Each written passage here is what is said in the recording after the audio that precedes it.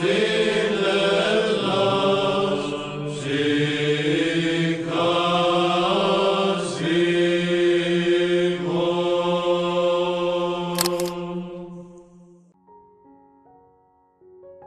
pomoći Božije ne možemo ni da stojimo. Neophodna je velika snaga da bismo nosili ime Hristovo, onaj koji govori ili čini ili misli bilo šta što je nedostojno – ne nosi ime Hristovo i ne nosi Hrista u sebi. A onaj koji nosi Hrista u sebi ne ide po trgovima, već po nebesima.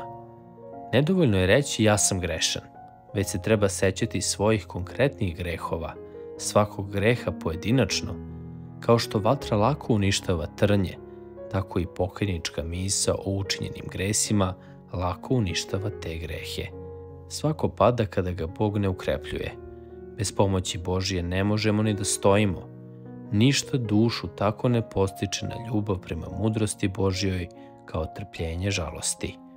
Nikada se ne boj kazne, već se boj greha koji prouzrokuje kaznu. Nema ničeg duhovno bezbednijeg nego li oprostiti svome neprijatelju i ničega opasnijeg nego li svetiti mu se. Ništa se ne može uporediti sa vrlinom smirenja. Ona je majka, koren, hrana, osnova i sve za svakoga dobra. Želiš li da ti ukazuju prvenstvo, onda ti drugima ustupaj prvenstvo. Ako imaš greha, trpljenje žalosti će ih lako spaliti u tebi. Ako pak u sebi imaš vrlinu, ona će od trpljenja žalosti postati samo još svetlija i blistavija. Dobar život vodi ka poznanju Boga, a bogopoznanje čuva dobar život.